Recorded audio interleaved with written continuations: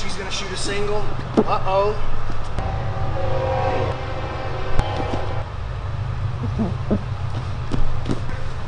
But it's gonna be way easier for you if you'll use this hand to lever her elbow off the ground. You guys see that? Now she's gonna turn away.